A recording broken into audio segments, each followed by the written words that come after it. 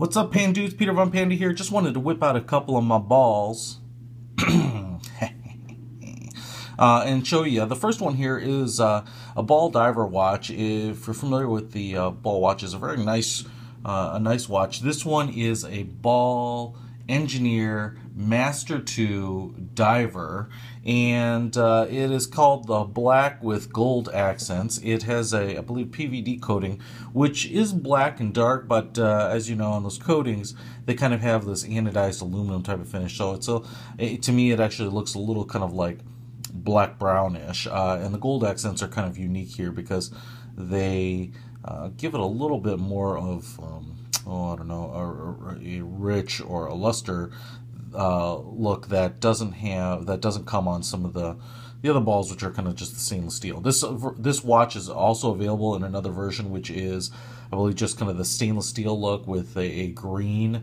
outer or inner bezel there, um, and it also is available with a bracelet uh, band. This one obviously has the rubber band and it's got a release clasp here.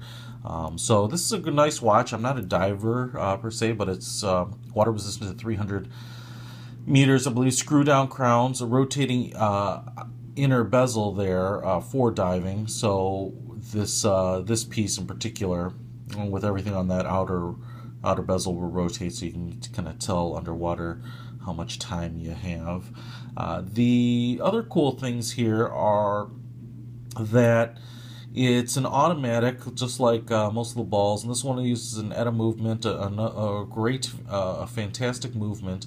Uh, but one of the coolest things is these tritium gas tubes, and you can see on the outer uh, bezel here. They are in the numbers, which is why the numbers are so blocky. They are they are included along the entire length of the the gold outer bezel here on these uh, the hour and minute hands, and then also at the hour markers. So the 12, which does not rotate, and then the uh, hour marker for 3, 6, and 9 are also glow in the dark. So this thing really lights up, and as you know, tritium is radioactive. Um, and so it does not require exposure to light to stay to keep the phosphor uh, lit up and emanating light.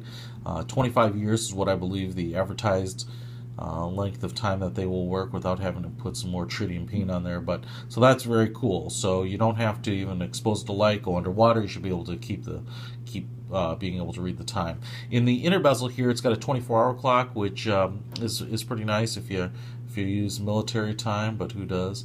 This uh, crown here controls the bezel movement, the unidirectional bezel movement, and this one obviously controls the time and the and the remote date.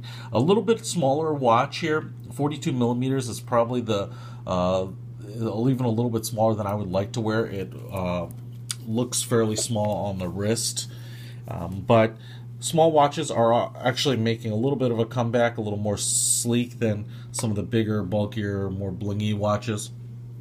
And the nice thing is it's it's pretty thick. Uh, I believe uh, I thought almost 14 millimeters on this. On the back, no uh, peekaboo window to see your your cool movement, but it does have uh, the diver on the back here showing you it's a diver's watch. On um, the stainless steel one, I believe there is a submarine. Um, embossed on the back. So very cool.